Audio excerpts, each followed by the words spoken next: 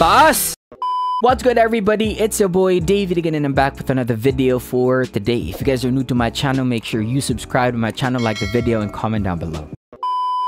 So, we're going to react to another artist. Kilala naman natin sila. So, we already knew them. And um, sumikat sila sa mga singing competition. So, sila ay uh, sisters. So, this is going to be Fourth Impact. May single sila na uh, bagong single na, na release two days ago. So, this is Here We Go. So, by Fourth Impact. So, mas sumikat sila lalo nung sumali sila sa X Factor. Kumanta sila dun kay yung kanta ni Jessie J.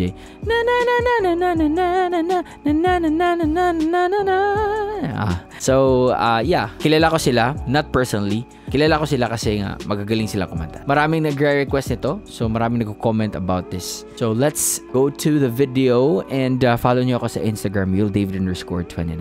Okay, let's start. Fourth impact. I like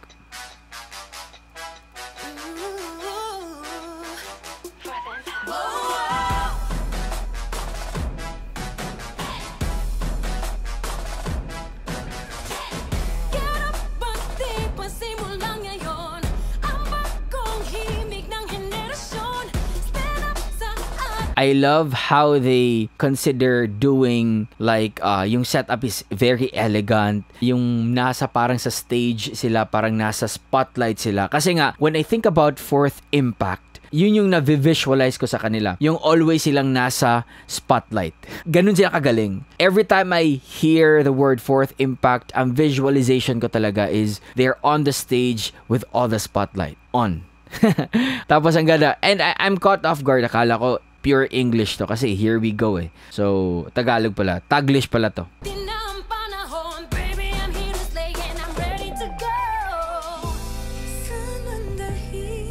Oh, I love the transition na parang nag-smooth lang.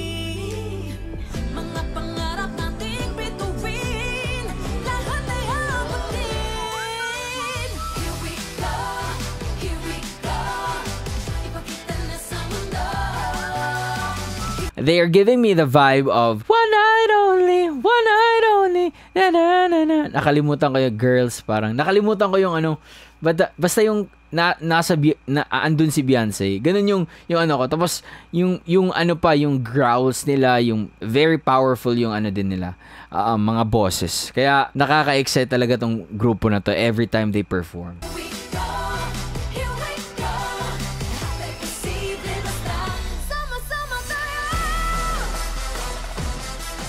Hey!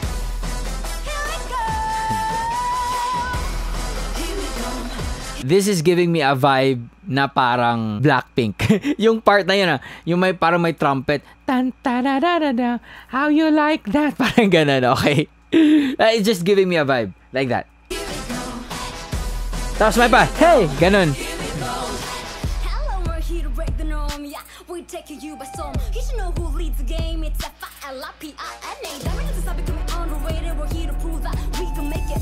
Yee! Sheesh! Let's go!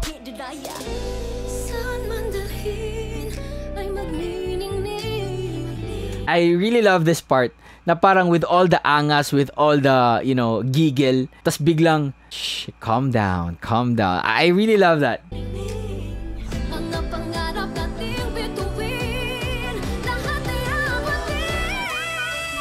Taas!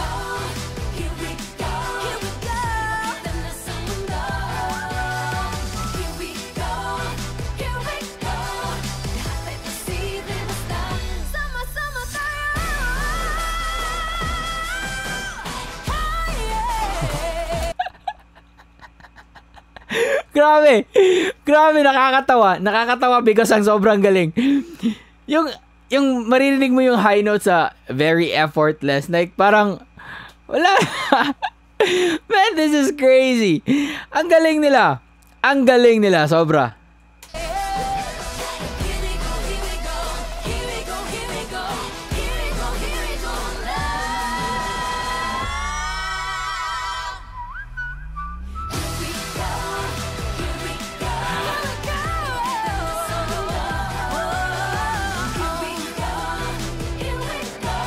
Grabe!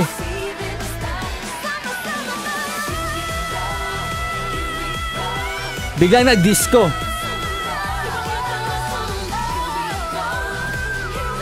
Whistle note parang si Ariana.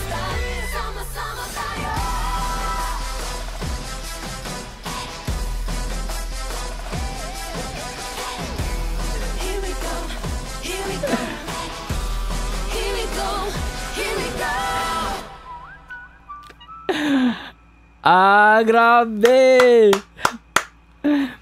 Okay, I will be very, very honest. Una, may tanong ako, are they considered to be a P-pop? Kasi, di ba, nung una nilang labas, hindi naman sila like tag as P-pop. Okay, like they're tag more of a mga belters, divas, ganun.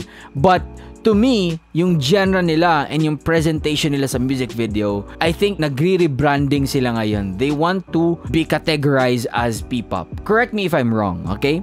Second, in the cat in the category of female P-pop, if so na P-pop sila, by far, real talk to ah, they are the best P-pop na female. Okay? In terms of singing, belting, whistle notes, harmonization, in terms of dancing, my goodness. My goodness. Nasa sa kanila talent-wise, skill-wise.